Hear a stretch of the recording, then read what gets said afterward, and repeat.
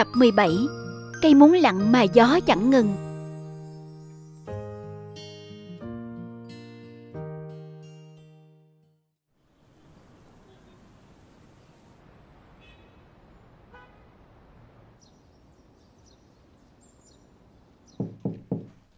Tiểu quan Ăn sáng thôi. Tiểu quan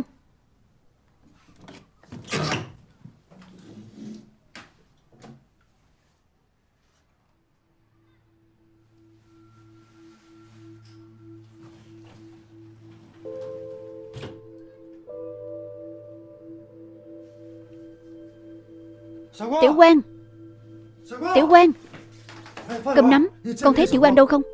Bố Trần Bố không ra sân bay tiểu quan ròm sao? Sân bay. Nó Nó theo mẹ nó rồi à? Thôi vậy.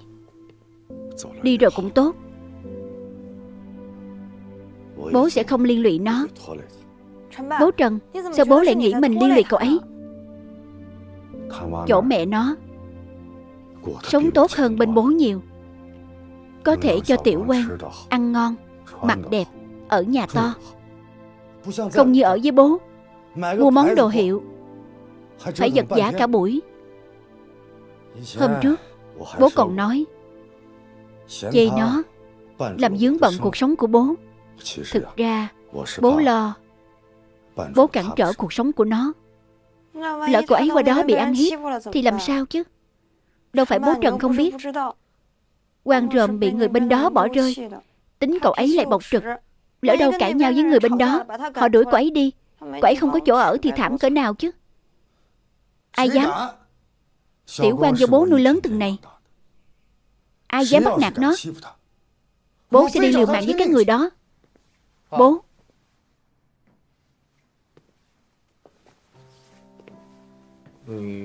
Tại sao bố không hỏi Ý kiến của con. Con chưa đi à? Tất nhiên là con chưa đi.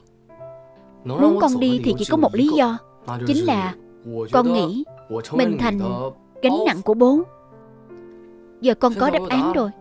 Con không phải. Nên là Bố cũng đừng thấy bố là gánh nặng của con. Nói vậy Con không đi à? Tất nhiên con không đi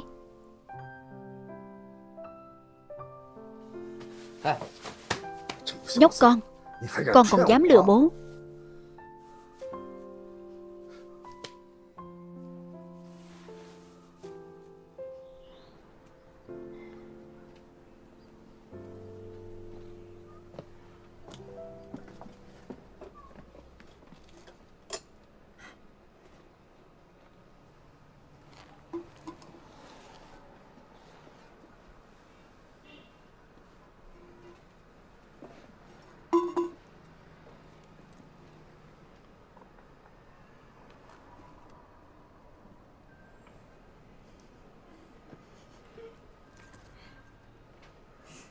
Cậu làm bài tập thôi cũng lười biếng nằm ngủ được à. Sao có mình cậu vậy? Bố Trần đâu? Bố. Bố đi mua cá. Để bù đắp cho mình rồi. Vậy mà cậu không ới mình. Mình cũng có món muốn ăn. Chuyện gì thế? Hũ này gần đây rồi. Còn nhớ vụ cá cược của tụi mình không? Nhanh thế. Mình xem nào. Không được. Dội gì? Cho mình kiểm tra răng cậu trước Có bị sâu không? Cậu chưa đánh răng à? Thơm tho thế mà. Anh đây ở sạch lắm nha. Ừ ừ. Đi ị cũng thơm chứ gì.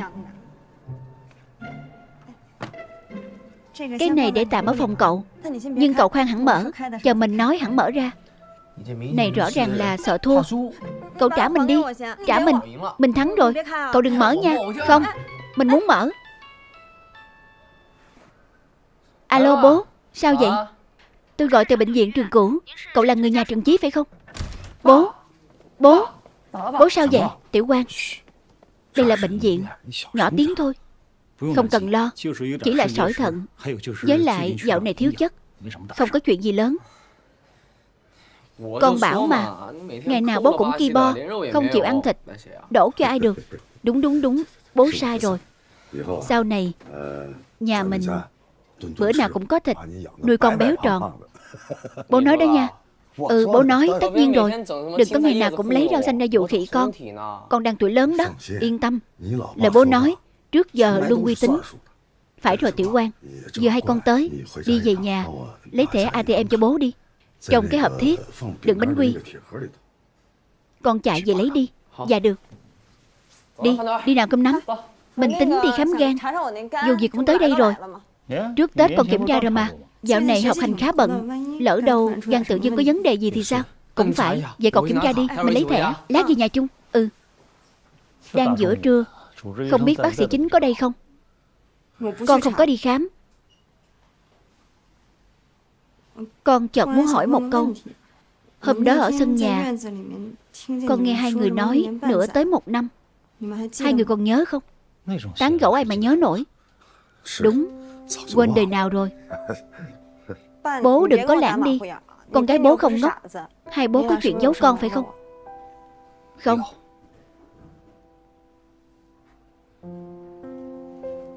Bố Trần Bị bệnh gì rồi phải không? Không. Vẫn khỏe mà. Rốt cuộc là bệnh gì? Hai người mau nói đi. Tại sao không cho con biết? Hai người không nói Con cũng tự đi hỏi bác sĩ được. Con đi hỏi xem là bệnh gì. Cầm nắm. Có điểm đợt thi thử đầu tiên rồi. Tôi đã nói từ đầu. Đợt thi thử đầu tiên như kính chiếu yêu. Yêu hay quỷ gì Các em tự soi lại đi. Trần Mộ Quang. Em Lần này đã cho tôi bất ngờ. Học kỳ này Em tiến bộ rất nhiều Vượt xa tôi dự tính. Điểm toán lần này Em đứng nhất lớp. Khiêm tốn Khiêm tốn Khiêm tốn Khiêm tốn Khiêm tốn. Mọi người Lo mà học hỏi mấy đi. Người ta từng bước Leo lên từ vị trí đội sổ Có những em Cảm thấy cảnh núi dưới chân đẹp sao Những em điểm kém. Hết tiết. Thì học hỏi kinh nghiệm từ người ta. Được rồi. Ngồi xuống đi. Hàng đầu. Kiện bài xuống.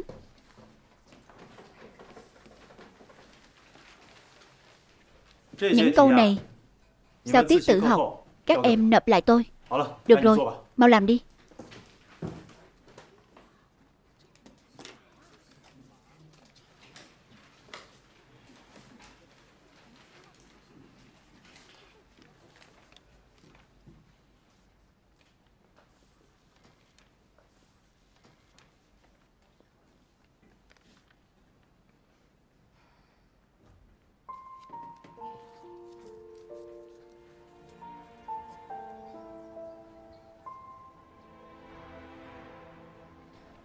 Trần của con.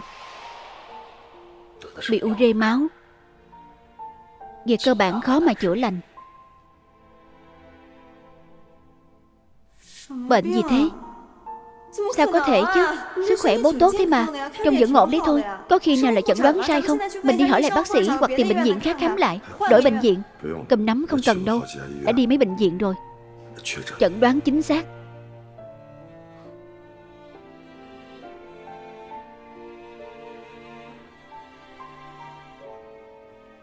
Hai người nói quan ròm biết chưa ạ? À? Nó không biết. Bố chưa nói với nó.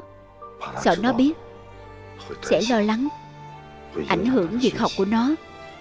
Nếu nó không ôn tập tốt Thi điểm lẹt đẹt Thì tương lai nó làm sao đây?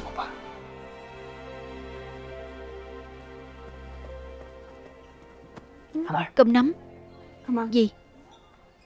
Cậu sao đấy? Gì mà nhăn như bị tạt nước khổ qua vậy Vở này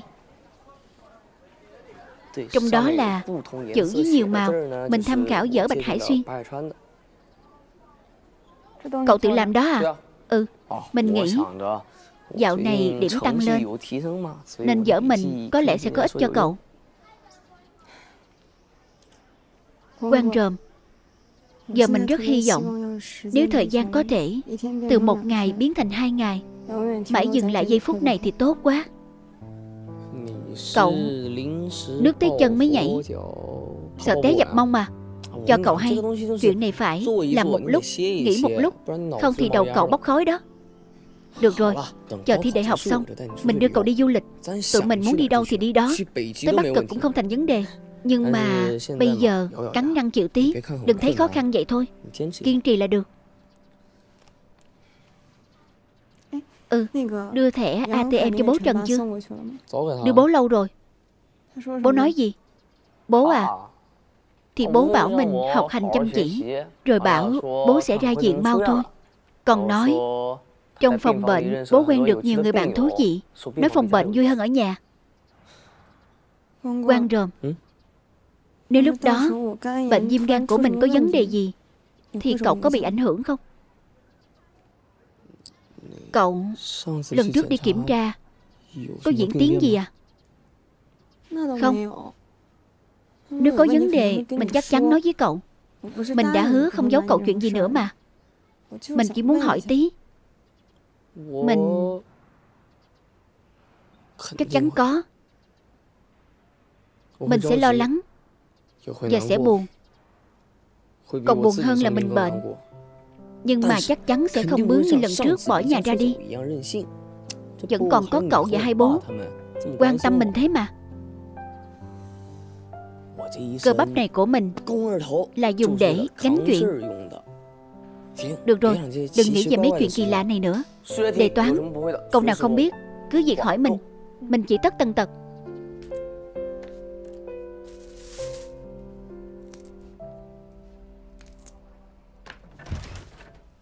Cơm nắm về rồi à. Này đi đưa cơm cho lão Trần Nên nhà mình chưa nấu nữa. Con chờ lát nhé. Lát là xong ngay.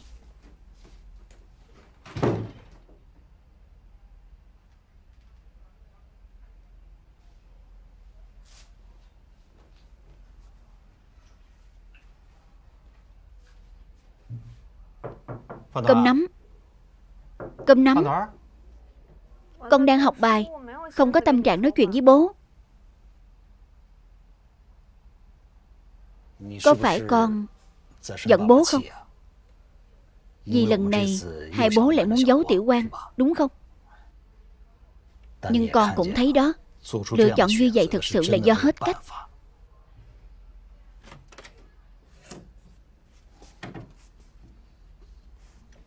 Vậy nếu bố Trần đồng ý, Thì bố có giấu quan ròm nữa không?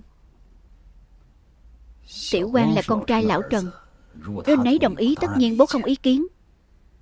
Nhưng bố nghĩ 80% Lão Trần không đồng ý.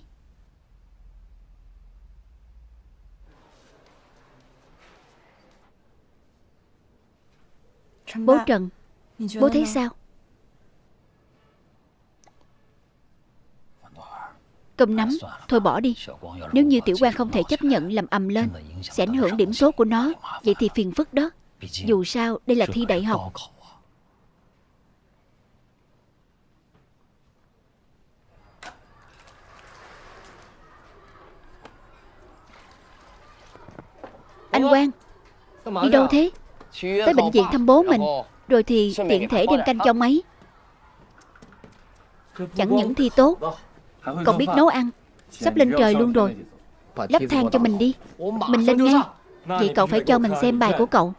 cho người anh em này quỳ bái tí Ôi trời. Điểm cao chót vót. Bảo sao hôm đó lão Dương Khen cậu trước cả lớp. Đưa bài thi cho bố mình xem. Thế nào bố cũng vui lắm. Bọn con là con các bố. Sao các bố không thể có lòng tin vào bọn con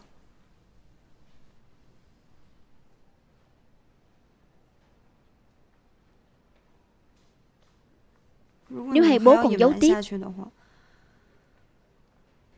Thì hãy chuẩn bị tâm lý trước đi.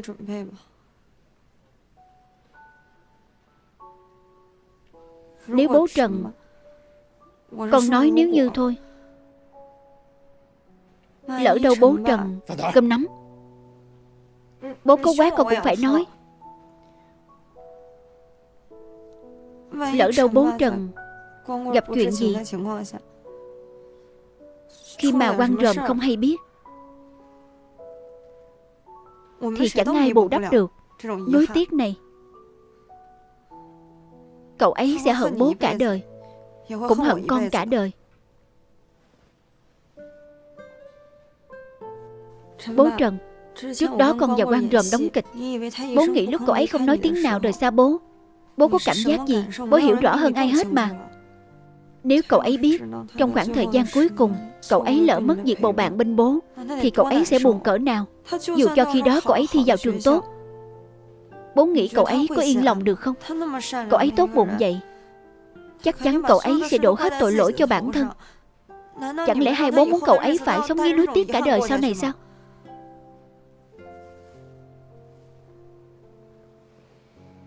Thôi, con không nói nữa, con về đây. Cơm nắm. Cơm nắm. Bố chồng muốn nói với con một câu. Một câu thôi. Chuyện này Hãy để bố tự nói với Tiểu quan. Bố không lừa con chứ? Bố không lừa con. Bố cũng muốn Sau khi bố đi Không mong Tiểu quan Buồn lòng Ái nấy.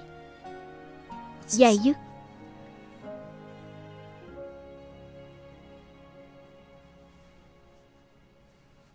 Giờ mình cảm giác mình đang ở thời khắc tỏa sáng trong đời. Chắc chắn được xếp vào động vật quý hiếm cần quốc gia bảo vệ Mà còn là loại IQ cao. Đây gọi là bao nhiêu nhà vui bấy nhiêu nhà buồn. Cho mình hưởng tí thần lực từ bài thi của cậu. Nào, tay cậu làm ướt Bài của mình mất Keo thế. Đi nha.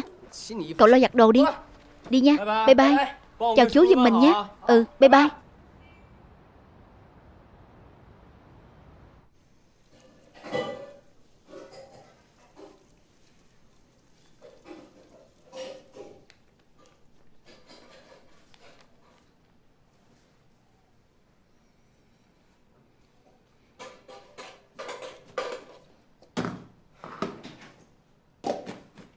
Bố Quan sạch ghê. Phải trả tiền lại cho con đấy. Trả Chắc chắn trả cho con. Tiểu quan Giờ tài bếp nút của con. Tăng giọt đó. Trình độ cao hơn cả bố. Bố Bao lâu nữa bố ra diện Con cũng đâu thể dăm ba bữa lại chạy tới đây. Con phải về trường đi học nữa. Lần này bố Chắc không thể ra diện Trong thời gian ngắn là sao vậy bố?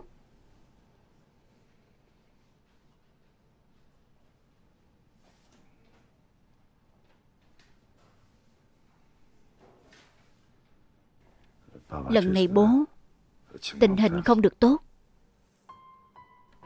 Đây Viết gì thế bố.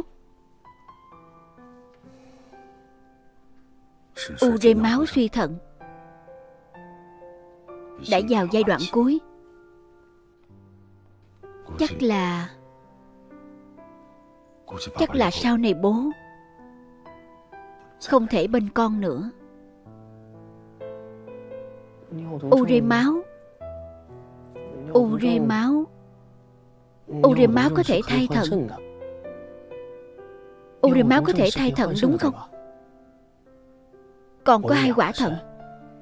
Con có thể thay cho bố một quả. Con có thể thay cho bố hai quả con đi tìm bác sĩ. Con đi tìm bác sĩ thay cho bố. Tiểu quan Con đừng kích động.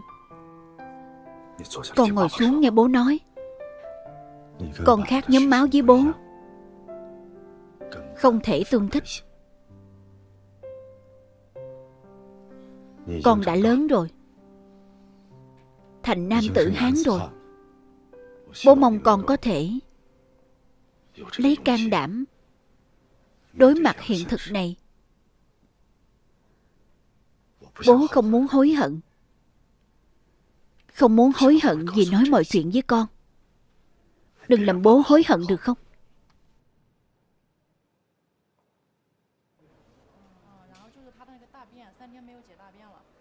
Kê thêm thuốc cho máy, Rồi cho máy uống. Được, được, tôi biết rồi. Mấy cái khác vẫn ổn. Được. Vậy giường chính thế nào? Giường chính vẫn ổn. Ừ được. Cho hỏi. Bác sĩ Hoắc phải không? Tôi đây Cậu là Tôi là Con trai bệnh nhân giường ba. Tôi muốn hỏi Tình hình bố tôi. Tình hình hiện tại của bố cậu Không tốt lắm.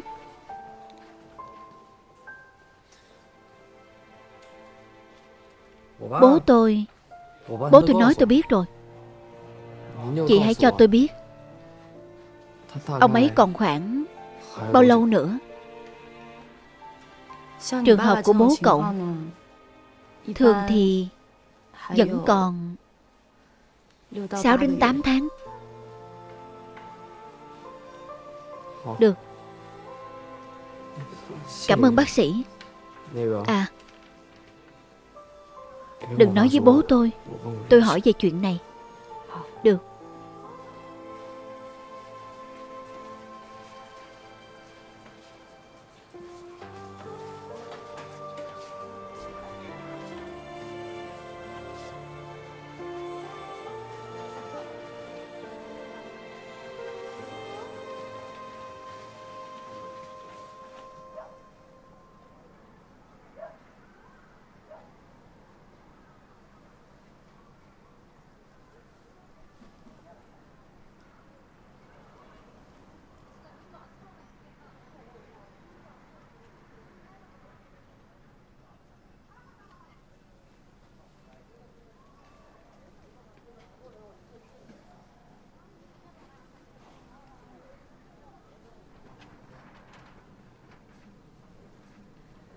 Bố mình đã nói Mình là nam tử Hán.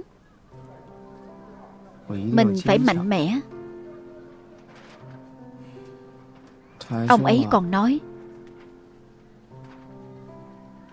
Ông ấy Phải nhìn thấy Mình thi đại học được điểm cao. Rồi thì Ông ấy muốn thấy mình thi vào đại học tốt.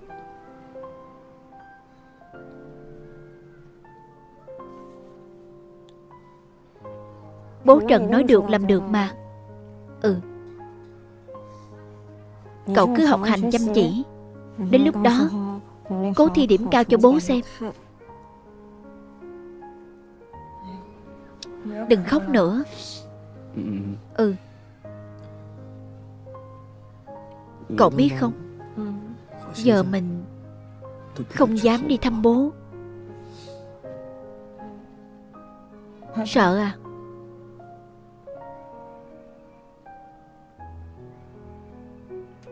Mình cũng không dám vào cửa. Mình sợ. Thấy chiếc giường kia. Là nghĩ tới chiếc giường kia. Sau này có thể bố không thể ngủ nữa? Với cả bát đũa. Sau này có thể mình chỉ bày được một bộ.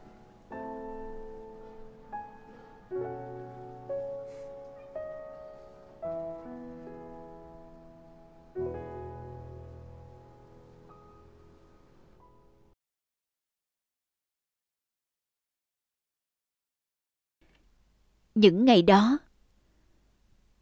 tôi đã viết rất nhiều thư. Tưởng tượng một lượt về tương lai của tiểu quan. Tôi mong, cho dù mình ra đi, thì tiểu quan cũng không thấy cô đơn. Tôi cũng mong tương lai của nó có chút dấu vết của tôi, dù chỉ là một chút.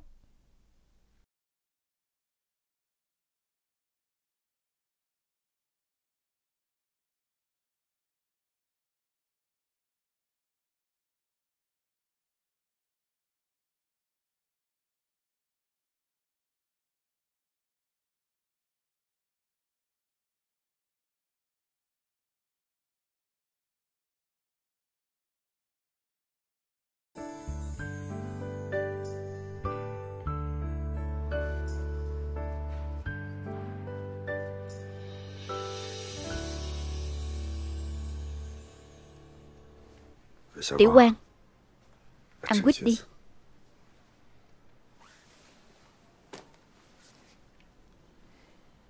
Bố à Bố thấy sao rồi? Vẫn khỏe? Vẫn khỏe?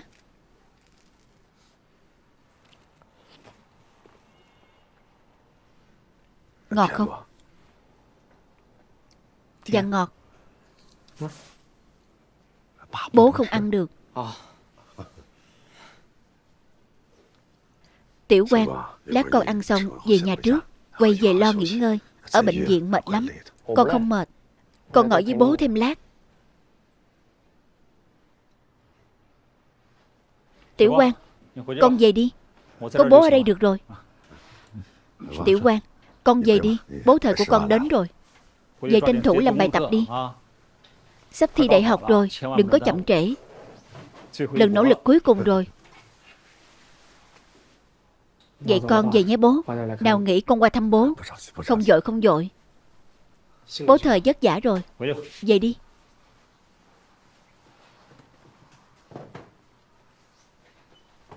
Cháu mới nấu xong. Đói rồi phải không? Nào mang đi. Cẩn thận coi chừng bỏng đó.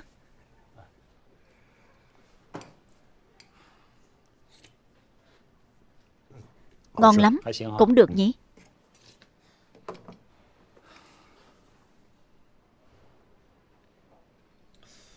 Sao vậy? Lại đau à.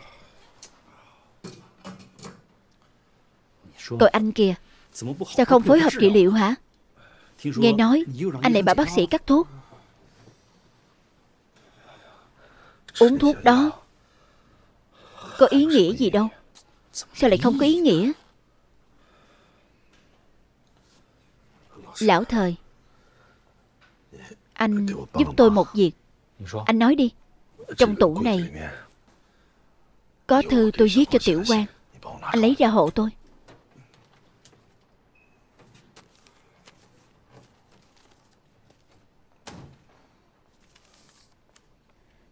Sao viết lắm thế? Trước đây tôi nghe nói Bưu điện có Dịch vụ Gửi thư định kỳ. Tôi muốn nhờ anh Đăng ký dịch vụ này cho tôi Mỗi năm tiểu quan đón sinh nhật Thì nhờ họ gửi cho nó lá thư.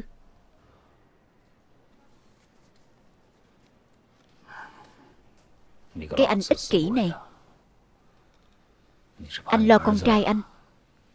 Quên mất ông già nhà nó à? Tôi nuôi nó gần 20 năm rồi. Tôi không lo thằng nhóc đó. Quên ông già này đâu. Không lo không lo Chủ yếu là tôi, Vẫn còn nhiều lời.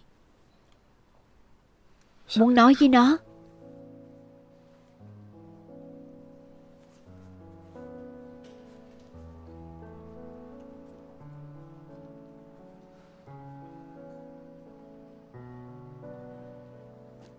Thùng này ở đây lâu lắm rồi nhỉ?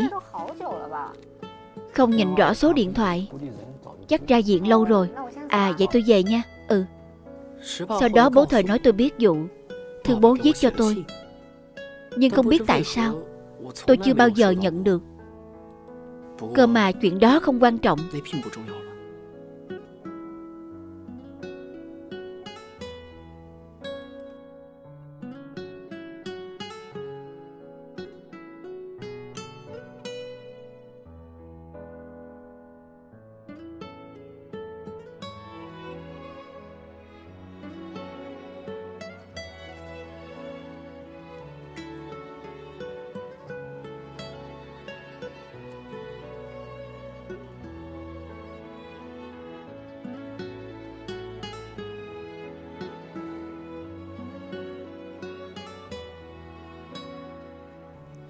Cậu đang nghĩ về bố Trần sao? Ừ. Cậu nghĩ coi. Mấy người lớn đó Đôi khi khá ngốc nhỉ? Bố còn lo mình quên bố.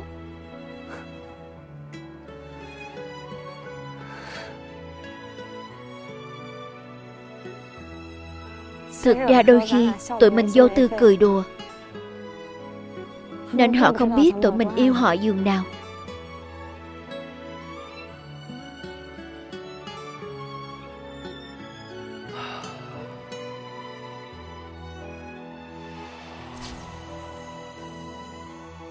những người mặc dù ra đi đã rất lâu Nhưng chỉ cần bạn không quên Thì họ sẽ mãi sống trong ký ức của bạn.